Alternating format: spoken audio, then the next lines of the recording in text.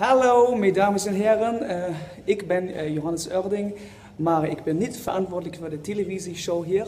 Um, Astrid en Peter, verantwoordelijk.